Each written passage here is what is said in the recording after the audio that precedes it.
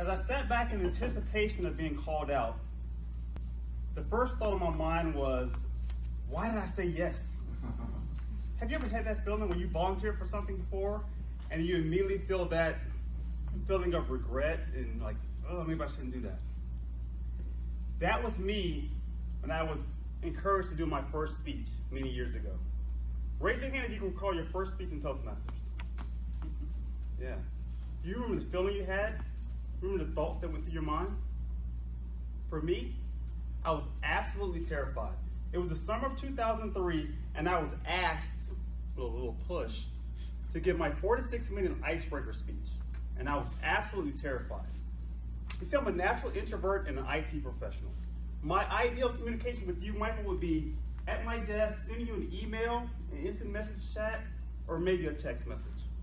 But getting up in front of a group was the last thing that I wanted to do. So as I walked up that day, I had thoughts going through my head. What if I forget my lines? What if they don't like me? What if I just completely embarrass myself?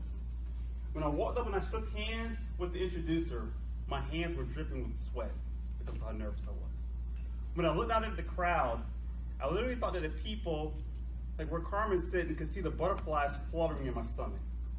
And as I began to talk, my mouth was completely dry, as if I had been chewing cotton balls all morning long. It was painful. Then I, I pulled out my notes, I unfolded my notes, and I began to read my four to six minute speech like this.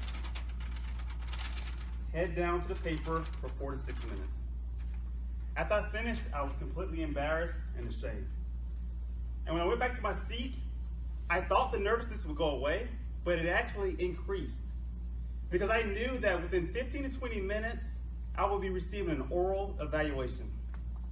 And I immediately had thoughts of how things were when I was in college, and my public speaking professor would give me feedback like, Michael, you did that wrong. Don't do this. You're just embarrassing things. Did anyone in here take public speaking in college? Okay. Yeah. You remember the reviews, the the evaluations in college? Not as comforting as the ones we're getting here in Toastmasters. so, like I said, I was nervous when my evaluator came back up. However, when my evaluator walked up, he actually surprised me. Michael, he looked at me and said, he said, Michael, congratulations on having the confidence to come up here and give your first speech. He also went on to talk about several key attributes that I had that would make me a competent communicator in the future.